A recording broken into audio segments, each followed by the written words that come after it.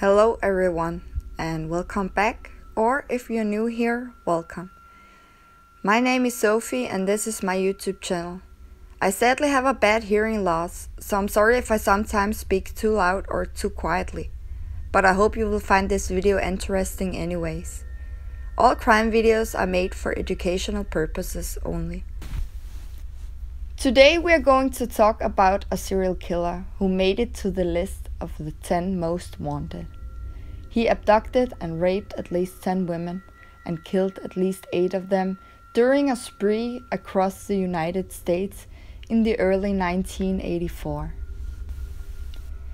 Christopher Bernard Wilder was born on March 13, 1943 in Australia. His father was an American naval officer and his mother an Australian. He almost died when he was two years old by almost drowning in a swimming pool, but he recovered it. In 1963, when Wilder was only 20 years old, he pleaded guilty in the case of a gang rape at a beach in Sydney and was put on probation, during which time he also received electroshock therapy. There is some evidence to suggest that this treatment only made his violent sexual tendencies worse. In 1968, he married, but his wife left after only a week. Then Wilder immigrated to the United States in 1969, where he lived in Boynton Beach, Florida, in a mansion on Mission Hill Road. Here he made a small fortune in real estate while developing an interest in photography. Over the next few years, however, between 1971 and 1975, he was in and out of court facing various charges related to sexual misconduct. He eventually raped a young woman he had lured into his truck on the pretense of photographing her for a modeling contract. This would be what he would be known for during his later rape and murder spree. Despite several convictions, Wilder was never jailed for any of these crimes. In 1982, he went to Australia to visit his parents. He was charged with sexual offenses against two 15 years old girls, whom he had forced to pose nude. He was allowed to return to Florida to await trial after his parents posted bail, but court delays prevented his case from being heard. His first murder was that of Rosario Gonzalez. Rosario was last seen on February 26, 1984, at the Miami Grand Prix, where she was employed as a model. Soon after, on March the 5th, Wilder's former girlfriend and Miss Florida finalist Elizabeth Kenyon disappeared. Neither woman was ever found. Wilder was known to both of them, and police were able to link him to these cases. But on March 15th, Wilder went on the run. On March 18th, he lured 21 year old Terry Ferguson away from a shopping center in Satellite Beach and brutally murdered her. He then dumped her body at Canaveral Groves, where it was discovered a few days later on March 23rd. His next victim was a 19 year old girl who he abducted and transported to Bainbridge, Georgia on March the 20th.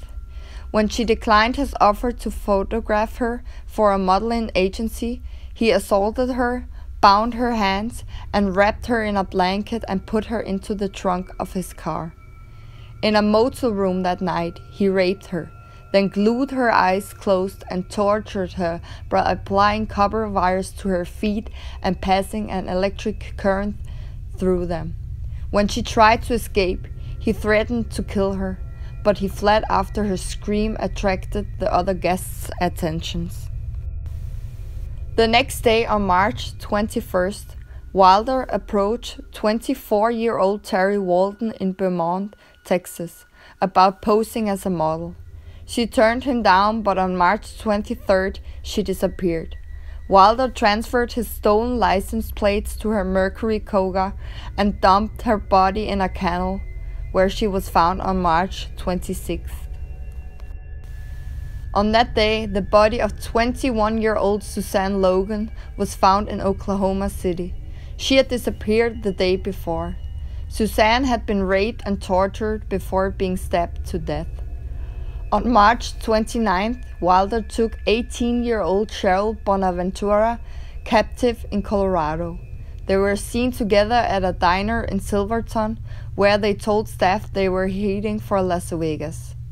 Sheryl was shot and stabbed to death around March 31 in Utah, but not found until May the 5th. Wilder also killed 17 year old Michelle Korfman an aspiring model who disappeared from Las Vegas on April the 1st. She remained undiscovered until May 13th. Shortly after Michelle's disappearance, Wilder photographed 16 year old Tina Marie near Torrance, California, before abducting her and driving her to El Centro, where she was assaulted.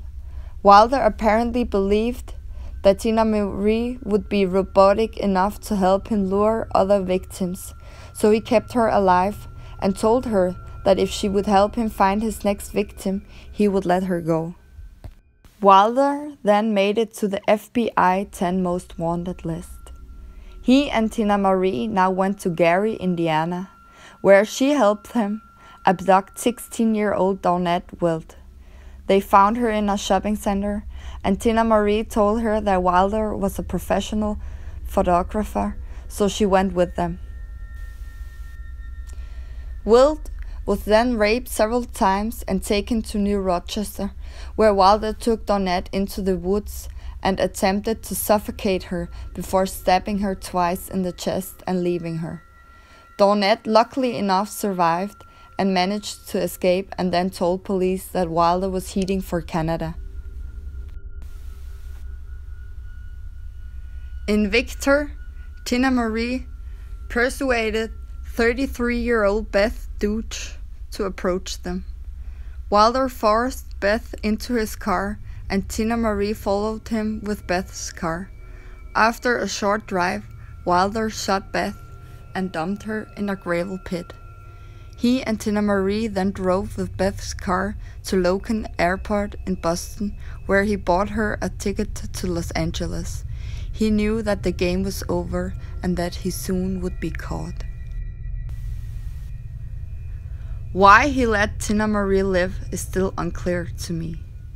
On April 13th, he attempted to abduct another young woman after offering her a ride to a gas station, but she escaped and shortly afterwards he arrives at a gas station in Colebrook, New Hampshire, where he was noticed by some state troopers. As they approached him, he reached into the car for his gun. Trooper Leo Jellison jumped onto Wilder's back, and during the scuffle, the gun went off twice. The first shot hit the killer and also went into Leo's liver. The second blew out Wilder's heart, killing him instantly. His death was officially listed as a suicide. Leo made a full recovery from his injuries. Wilder was cremated in Florida, leaving a personal estate worth at almost $2 million. Along with the eight known victims he killed during February to April 1984, he has been linked to the murders and disappearances of many other women as well. The bodies of his first two victims, Elizabeth Canson and Rosario Gonzalez, have never been found. Thank you for listening and see you in the next case.